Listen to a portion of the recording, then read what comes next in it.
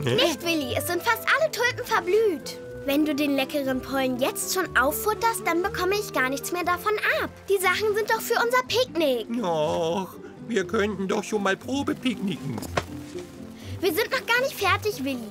Flip, Beatrix und die anderen kommen ja auch. Oh, so eine Schufterei. Ich hätte nie gedacht, dass ein Picknick so anstrengend ist.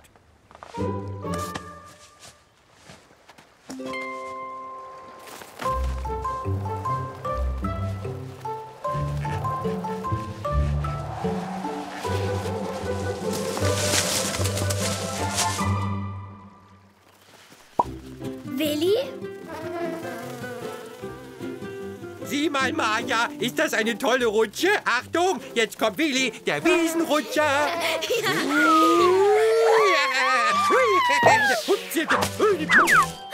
Willi, ich hoffe, dir ist nichts passiert. Ja, ich habe mein Pollenköpfchen auf dem Köpfchen.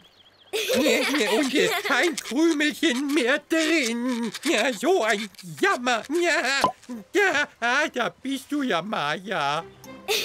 Du bist wirklich Biene der ganzen Wiese, Willi.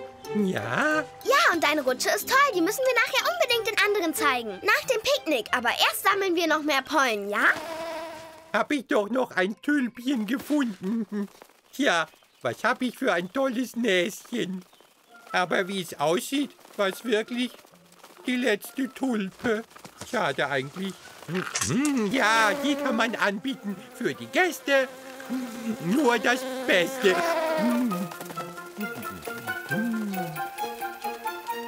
Nee, wo ist der Pollen hin?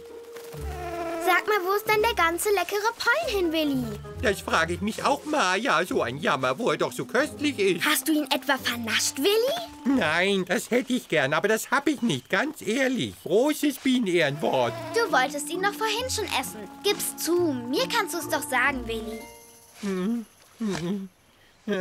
Nein, wirklich nicht. Ich habe nur einmal abgebissen. Sonst habe ich nichts angerührt, noch nicht mal die Picknickdecke Maja. Dabei habe ich so einen riesen Hunger. Und jetzt hast du alles weggefuttert. Ja,